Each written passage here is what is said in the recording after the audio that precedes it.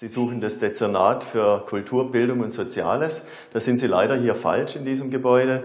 Das Kulturdezernat befindet sich drüben in der Basler Straße 17. Aber ich begleite Sie gerne rüber, damit es etwas schneller geht. Kommen Sie einfach mit.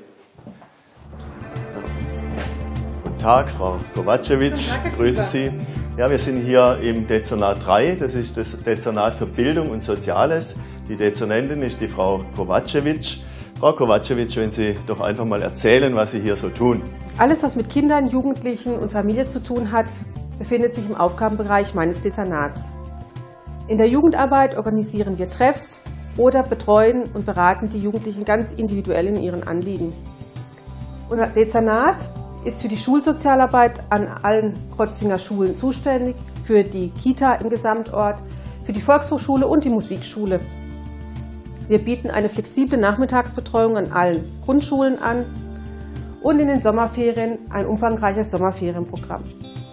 Bei uns können Sie auch die ermäßigte Regiokarte beantragen.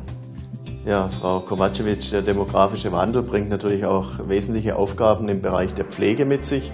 Wir haben den Pflegestützpunkt des Landkreises hier bei uns in der Stadt, äh, der in den Räumlichkeiten der Sozialstation untergebracht ist und der berät natürlich die Bürgerinnen und Bürger in vielen Fragen. Sie sind die Koordinationsstelle und die Schnittstelle zwischen dem Pflegestützpunkt äh, und der Bürgerschaft in der Stadt. Vielleicht könnte Sie dazu was sagen. Eines der wichtigsten Themen heutzutage ist unsere immer älter werdende Gesellschaft. Als Geschäftsstelle des Pflegestützpunktes des Landkreises Breisgau-Hochschwarzwald arbeiten wir mit den Sozialdiensten auf allen Ebenen zusammen. Um die Senioren in Bad Krotzing zu unterstützen, entwickeln wir derzeit Konzepte für die städtische Seniorenarbeit. Damit Menschen mit einer Behinderung ungehindert am Lebensalltag teilnehmen können, sind wir dabei, ein sogenanntes Inklusionskonzept zu erarbeiten und umzusetzen. Wir kümmern uns auch um ein möglichst breites kulturelles Angebot für Sie.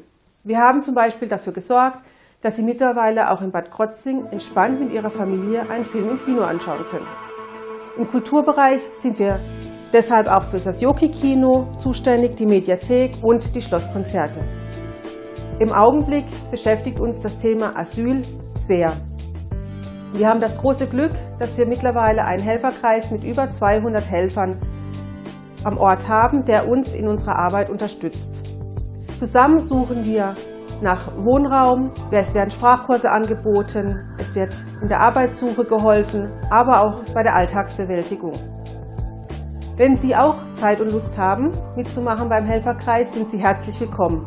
Spenden nimmt der Helferkreis selbstverständlich auch gern entgegen. Ja, vielen Dank für die interessanten Ausführungen zu Ihrem Dezernat. Ich wünsche Ihnen noch einen schönen Tag und frohes Arbeiten. Dankeschön. Tschüss.